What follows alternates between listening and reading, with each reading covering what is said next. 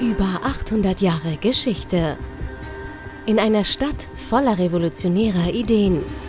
In Kunst, Technologie und Wissenschaft. Über 800 Jahre wechselvoller Entwicklungen. Jahre der Blüte, Jahre der Zerstörung und des Wiederaufbaus. Immer wieder mit klarem und zielstrebigem Blick in Richtung Zukunft.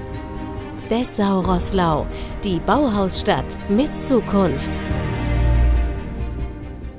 Auf ihrem Weg durch die Zeit im 21. Jahrhundert angekommen, ist Dessau-Roßlau heute eine aufstrebende Stadt.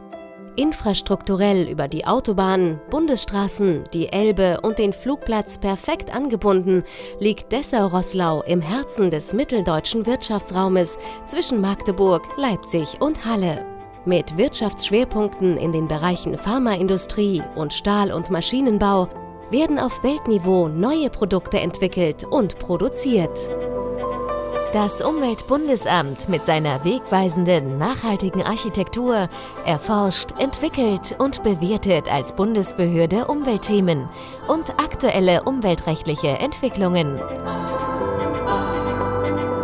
Kreative Ideen bauen die Zukunft. Fürst Leopold III. ließ das heute zum UNESCO-Weltkulturerbe gehörende Gartenreich Dessau-Wörlitz anlegen.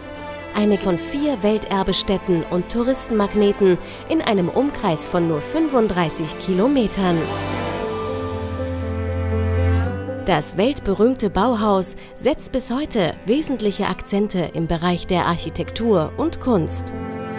Walter Gropius, Lionel Feininger, Kurt Weil, Wasili Kandinsky oder Paul Klee haben in Dessau neue Maßstäbe gesetzt und katapultierten die Welt im frühen 20. Jahrhundert in die Moderne.